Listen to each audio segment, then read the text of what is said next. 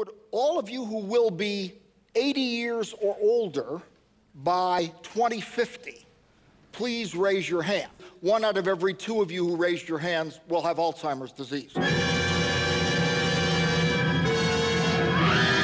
a disease that is going to be like a plague, it's going to be worse than AIDS, much worse. If we don't find a way to prevent Alzheimer's disease, we are going to see demented people wandering the streets. In this special report, we examine the nature of that disease known as senility. I was one of the media people who became part of the propaganda right. machine to sell Alzheimer's to the public. It was not called Alzheimer's disease, it was called senility. So tasks in making it exciting was giving it a name, giving it a face.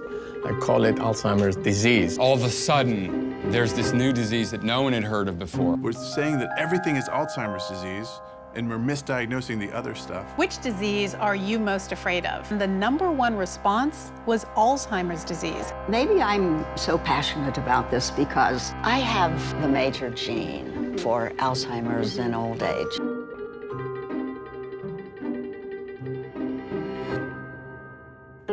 We cannot, with any certainty, predict who among us is likely to get Alzheimer's.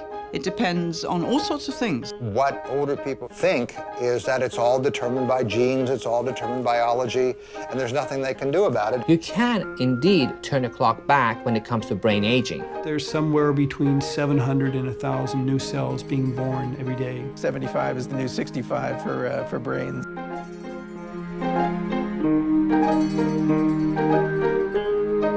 Genes are not your destiny. Your destiny is determined by the kind of life that you live.